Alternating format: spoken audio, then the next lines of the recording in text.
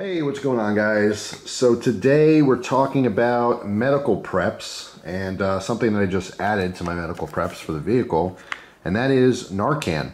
All right, so a lot of people know what Narcan is, um, but if you don't, it is uh, naloxone, I believe is how it's pronounced. This is a way to reverse an opioid overdose. So if someone is overdosing on some kind of opioid, which would be heroin, um, you know, fentanyl obviously is the, the biggest uh, thing in the last few years, right? Fentanyl overdoses, it is extremely, extremely strong. It's, I don't know, something like 60 times the, as powerful as heroin or something like that. Um, also a ton of prescription drugs, uh, Vicodin, Oxy, uh, codeine, what else? There's a few others that I'm not thinking of right now, but there's all these different ways that you can overdose and die. And unfortunately, I had a personal experience with that with my cousin. My cousin uh, had overdosed on fentanyl. Not directly, it was through the use of cocaine. And he didn't know there's fentanyl in there, and he died from it. And it's extremely sad. And um, ever since that happened, and I've had other people who I know who've had drug overdoses, um, it's always kind of been in the back of my mind. I never really pursued it, but I always thought, like, hey, you know, it might be nice if I have some Narcan uh, on my person. So if I ever witness something like this, perhaps I could save a life. Perhaps I can help someone else. You know, why not?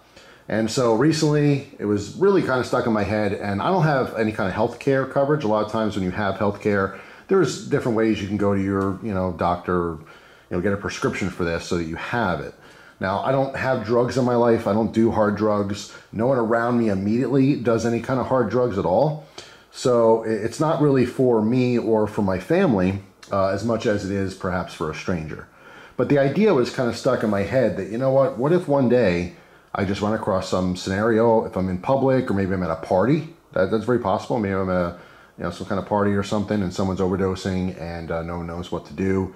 It would be great to have that option to run to my vehicle and grab Narcan. So you can uh, inject Narcan um, intravenously, which I think is a lot more of a pain in the butt. This is the most common where this goes through your nasal uh, passage. So you literally take this out, you put this nozzle in someone's nostril who is presumably overdosing from an op opioid, um, and you push the red plunger all the way down. And that is it. It could not be easier. Um, and the average dose is four milligrams here, um, but I got four of them. You could do multiple, um, you know, insertions, I guess. I don't know to say, uh, I'm at a loss for the terminology here. Um, doses, that's, that's the word I'm looking for. You could do multiple doses. If you do one and nothing happens after a few minutes, you can, you know, administer another one. So having multiples is a good thing. So the first big question is, where do you get this? Well, like I said, if you have some kind of uh, healthcare coverage, health plan, uh, you can talk to them about where to get it. It will probably be free. Um, in some cases, you do have to buy it. A four milligram unit like this uh, could cost like 60, 70 bucks, something like that. Um, however, there are organizations that do give it out for free. I had contacted an organization that does just that in Pennsylvania. I did my research on it and they said, yeah, absolutely. We'll, we'll send you some out. I said, all right, cool. So they sent these out and they also sent some other stuff, which was kind of random, but I guess they assume that, hey, if you're looking for Narcan, maybe you have some other concerns too. So they sent me these fentanyl test strips. These are really fascinating. So these essentially, you would take whatever narcotic that you have. Let's say you're doing, you know, heroin. Let's say you're doing coke. And you put a little bit of that in a container, mix it with some water, use a test strip, and it'll let you know if there's fentanyl in there or not. So let's say you do want to do some heroin or you do want to do some, some coke and you don't want to do fentanyl, you want to make sure your drugs are clean. These test strips could maybe save your life. Um, those will hang on to. I don't, you know, like I said, I'm not around hard drugs like that to be testing them, but you never know. Who knows? Maybe I'm with someone. Maybe they're going to do something they shouldn't do, and maybe I just throw them a test strip so they can uh, they can check out and make sure the drugs are what they, they think they are. Um, but anyway, and then also uh, because there's Narcan and fentanyl strips, they decided to send a bunch of condoms. Uh, I guess they assume that anyone who's around lots of drugs, you might be having unprotected sex. So they sent those too. Um, so yeah. So you can reach out and again, find these organizations, these nonprofits and stuff that will supply you with these if it's something that you want to put into your preps. it's just another layer. You know what I mean? Like I obviously you get a little cut, I'll hook you up. I got band-aids, neosporin, you name it. I, you got a bigger cut, I got gauze, you got you know a, a gunshot wound, I have you know QuikClot. I'm trying to have levels of being prepared to save my own life and maybe other people's lives. And this is just one of those things that's it's just always been in the back of my mind. I thought, why not? Why not just reach out somewhere, get some of this stuff because you just never know. It might literally save someone's life one day. Um, something else to note too is that if someone's overdosing on something that's not an opioid, right? And let's say let's say like alcohol. If you have alcohol poisoning and you have a similar effect where someone's laying there, they're unconscious, they're not breathing. If you administer Narcan to those people, it's pretty harmless. That is one of the reasons. It's, it's a big reason when researching this stuff that I decided to actually carry this because, you know, originally I thought, well, what if what if it's not the right scenario and you give this to someone? Can it hurt them? Can it kill them? And no, it can't it can cause a headache, it can cause some irritability, some other problems and stuff, but very short term, nothing long lasting, and nothing serious at all. So if you like, if I just shot this up my nose right now, I might get a headache or something, uh, but it's not going to permanently damage anything at all. It is uh, actually extremely safe to administer and use. Um, it, it is just the only thing it's doing is blocking the effects of uh, opioids on the brain as well as restore breathing.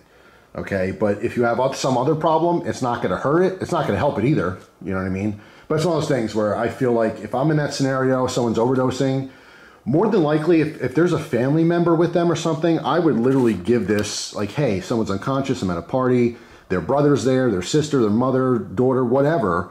I'm like, hey, listen here, I Narcan, use this. The instructions are there, I'll tell them what to do, whatever but I would not actually administer it unless I absolutely had to, and that's because of our ridiculous legal system. You know, you can try to save someone's life with this, and then who knows, maybe the family sues you because you didn't do it right or something.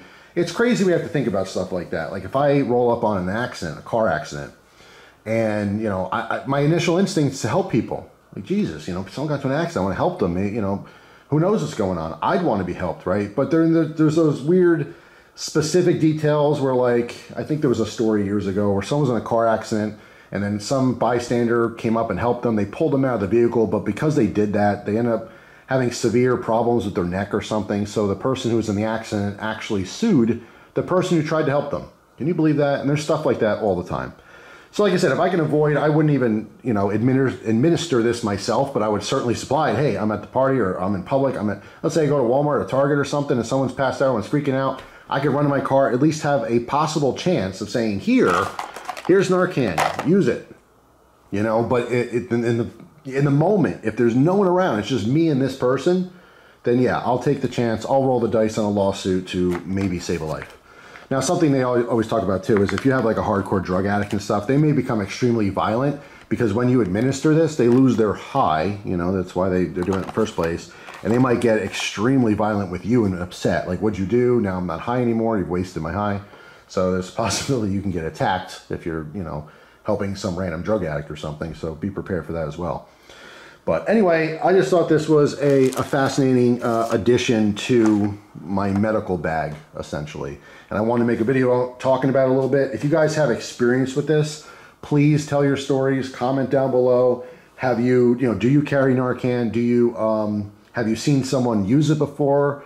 You know, what, what happens? It's just, you know, it'd be interesting to have that discussion with people, especially personal experiences with it.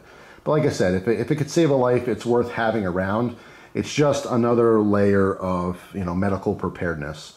So, um, like I said, it wasn't all that hard to obtain this. Like, it reached out, answered some questions. I took a little, like, um, you know, watched a video and learned on how to use this and stuff so they could see that you're somewhat competent, you know and then they, they went ahead and sent to me, you know, free of charge. It, like I said, it's a nonprofit organization that, that reaches out.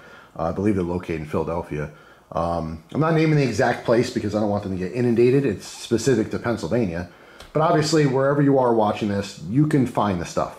You know, whether you're paying a, a minimal fee of 60 or 70 bucks for a dose, or most times this could be completely free to you. You, if you're interested, you could reach out and have this stuff on you so that, God forbid, you know, anything happens at least you're a little bit prepared. And like I said, it might, might save a life. Who knows? So anyway, that is all. Thanks for watching. Looking forward to the comments to hear again if anyone had any experience with this. Um, you know, if you have someone in your household, if you have a family member or a close friend, a neighbor, who knows, and you know that they're, you know, using different types of drugs and stuff, it might just be something you, you have. You know, you just, you never know. But anyway, that's all. Hopefully you guys have a wonderful day. Thanks for watching, and I'll see you tomorrow with a brand new video. Take care.